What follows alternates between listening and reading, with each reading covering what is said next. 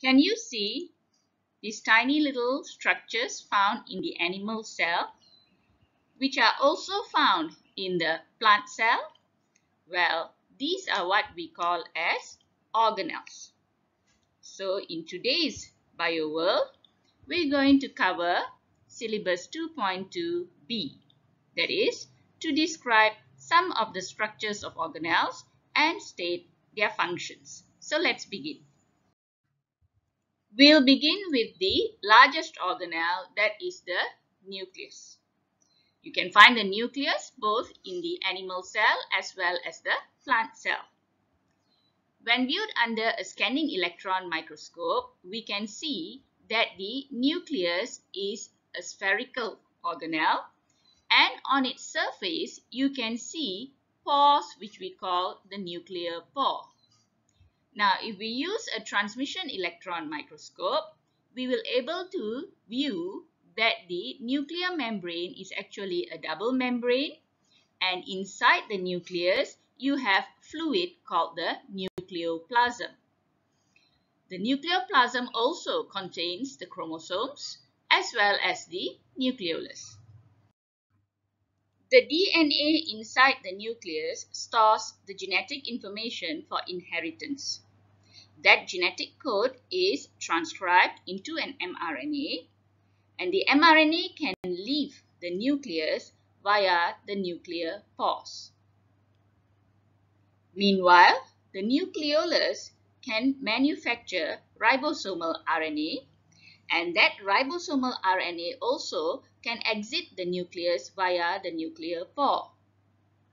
The ribosomal RNA will combine with proteins to form ribosomes and now the ribosome will translate the genetic code of the mRNA to synthesize proteins. So in this way, the nucleus can control the cell's activities.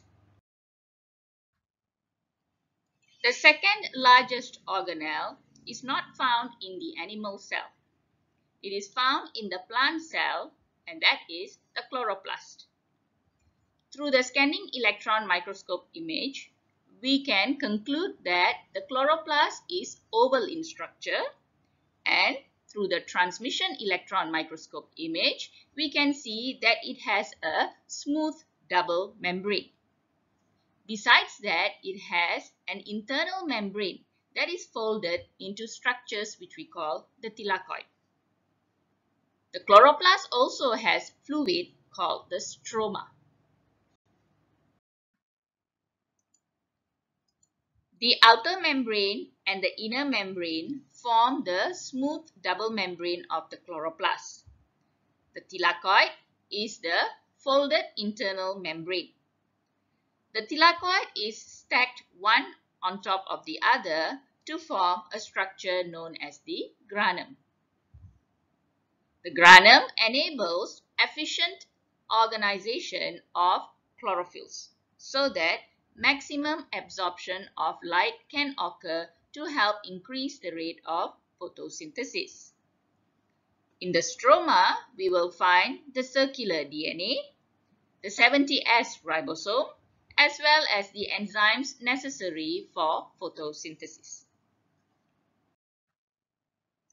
Although we say that chloroplast is found in plant cells, the truth of the fact is that not all plant cells have chloroplasts. Chloroplasts are only found in the cells of the leaves. This includes the palisade mesophyll cells, the spongy mesophyll cells, as well as the guard cells. The fourth cell is a cell that you have not learned yet, that is the bundle sheath cells. The bundle sheath cells are also found in the leaf of plants. I will teach you the bundle sheath cells in chapter 6. Let's now discuss the third largest organelle in plant cells, but the second largest organelle in animal cells.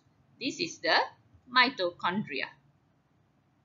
Here I have a scanning electron microscope image of the mitochondria and a transmission electron microscope image of the same organelle. Mitochondria is a rod-shaped organelle which has a double membrane, but the outer membrane is smooth while the inner membrane is folded to form a structure called the crista. The liquid in the mitochondria is called the matrix. Just as how both the nucleus and the chloroplast have a double membrane, the mitochondria has a double membrane too. However, the inner membrane of the mitochondria is folded extensively to form cristae. In the membrane of the cristae, there will be phosphate granules which are actually the enzyme ATPase. This enzyme will help in the synthesis of ATP. The matrix of the mitochondria will contain more enzymes necessary for the process of aerobic respiration. Besides that, you can also find the 70S ribosomes as well as the circular DNA in the matrix. The major function of the mitochondria is for aerobic respiration, which is made up of oxidative phosphorylation, electron transport, and the Krebs cycle, which you will learn in detail in chapter 5. The process of oxidative phosphorylation, which involves the electron transport, occurs in the cristae, while the Krebs cycle occurs in the matrix. Added to that, the mitochondria is also necessary for fatty acid oxidation. We move on now to another organelle which is most visible in plant cells, that is the vacuole. In plant cells, the vacuole is large and centrally located, causing most of the organelles to be pushed to the side. In animal cells, there are vacuoles, but since they are small and many, they are called vesicles. The structure of the plant vacuole is made up of a membrane known as the tonoplast. This organelle has a single membrane and this membrane is permeable to water so water can diffuse in by osmosis and the water will accumulate within the vacuole. This enables the vacuole to carry out its first function that is to control the cell's osmotic concentration. Now once the cell becomes turgid due to osmosis, the vacuole helps to carry out the second function. This is plant growth. The turgor pressure within the cell can help young plant cells elongate through a process known as vacuolization. So as the plant cells elongate, the plant grows. The liquid within the vacuole, which is called the cell sap, can store nutrients, dissolved gases, waste as well as pigment. So, this enables the vacuole to carry out its third function, that is the function of storage. Vacuoles, or better known as vesicles in animal cells, can form new organelles. For example, a vesicle can become a lysosome if it contains hydrolytic enzymes. Now, the lysosome has many functions, one of which is autolysis. This is a process to help remove old and aged cells in our system. When a cell has become old, the pH of the cytoplasm becomes acidic. This causes the membrane of the lysosome to become permeable to the hydrolytic enzymes. Once the hydrolytic enzymes diffuse into the cytoplasm, the cell will become destroyed. The vesicles also can become contractile vacuoles in aquatic microorganisms. In an aquatic environment, water will diffuse into the contractile vacuole, causing the vacuole to expand.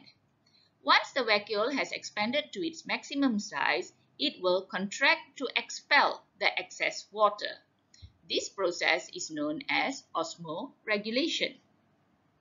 Another example of vacuoles in animal cells are structures known as phagosomes and autophagic vesicles.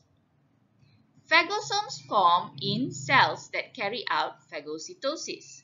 So, when there is a bulk molecule available near the cell, what happens is phagocytosis will help to move the molecule into the cell forming a phagosome. The phagosome is a vesicle. Sometimes organelles within the cell become old and damaged. So then a vesicle will form around the organelle known as an autophagic vesicle. The objective of forming a phagosome or an autophagic vesicle is to help eventually destroy the bulk molecule or the organelle. So you can see the vacuoles are necessary for digestion. Now let me discuss with you an organelle that is only found in animal cells, that is the centriole. The centriole is a pair of cylinder-like organelles located next to the nucleus. Under further observation, we find that the centrioles are actually made up of nine sets of triplet microtubules which are arranged in a ring-like pattern. So usually we call this the 9 plus 0 pattern. The function of the centriole is to form spindle fibers. These are the white lines that you see in this animation which is necessary to help pull chromosomes or chromatids to the opposite poles during cell division. So, for today's video, that's all from me. I'll see you soon in Organelles Part 2. Bye-bye.